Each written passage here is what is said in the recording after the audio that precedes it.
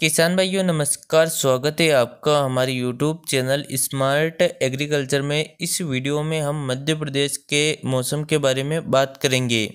किसान भाइयों, पिछले 24 घंटों के दौरान प्रदेश के कई क्षेत्रों में बरसात हुई, लेकिन अभी भी प्रदेश के अधिकतर क्षेत्रों के किसानों को बारिश का बेसब्री से इंतज़ार है।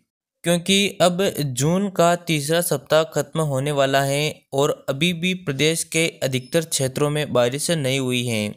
तो मौसम विभाग के अनुसार अब मध्य प्रदेश में मानसून की एंट्री हो चुकी है और कुछ दिनों में यह मानसून पूरे मध्य प्रदेश में फैल जाएगा, जिसके बाद मानसून की जमाजम जोरदार बारिश होगी। तो इस वीडियो में हम आगे विस्तार से मध्य प्रदेश के मौसम के बारे में बात करेंगे। मतलब कि प्रदेश के कौन से ज़िले में कब तक मानसून आएगा और प्रदेश के अधिकतर ज़िलों में फ़सलों की बुआई कब से शुरू हो सकती है?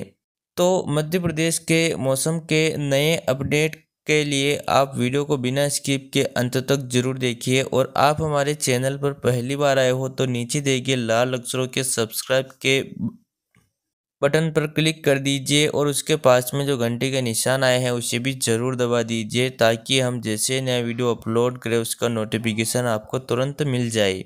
किसान भाइयों, अब अगर प्रदेश के मौसम अपडेट के बारे में बात करें तो इस समय पर छः वेदर सिस्टम एक्टिव हैं, जिसकी वजह से रोज़ मध्य प्रदेश में बारिश का सिलसिला बना हुआ है।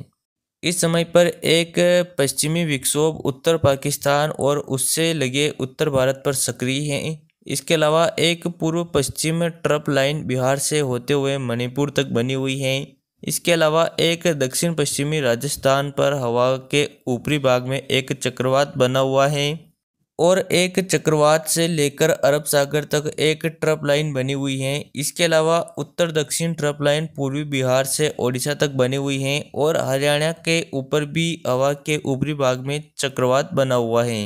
किसान भाइयों, इन छह मौसम प्रणालियों के कारण ही वातावरण में नमी आ रही है और प्रदेश में रोज बारिश हो रही है। किसान भाइयों, अब अगर मानसून अपडेट के बारे में बात करें तो मौसम विभाग के अनुसार इस समय पर दक्षिण पश्चिम मानसून खंडवा के आसपास बना हुआ है।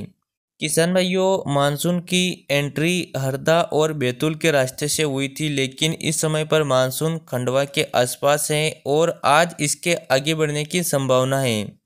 किसान भाइयों, मौसम विभाग की माने तो 19 जून को मानसून भोपाल, जबलपुर और इंदौर में दस्तक दे सकता है। और इंदौर में सप्ताह के अंत में पाँच दिनों में अच्छी बारिश होने की संभावना है और फिर जुलाई और अगस्त महीने में औसत वर्षा का कोटा पूरा हो जाएगा। इसके अलावा 22 जून से लेकर 24 जून के बीच में मानसून ग्वालियर और चंबल संभाग में दस्तक दे सकता है। मतलब कि चौबीस जून के आसपास प्रदेश के उत्तरी जिलों, भिंड, मुरैना, ग्वालियर, दतिया, श्योपुर, शिवपुरी, गुना, अशोकनगर, निवाड़ी, टीकमगढ़, छतरपुर, इन जिलों में बारिश हो सकती है। इसके अलावा प्रदेश के पश्चिमी जिलों, नीमच, मंदसौर, रतलाम, उज्जैन, आगरमालवा, शाजापुर, धार, झाबुआ, अलीराजपुर इंदौर, देवास, इन जिलों में 19 और 20 जून के आसपास मानसून एंटर हो सकता है, जिसकी वजह से इन जिलों में अच्छी बारिश हो सकती है।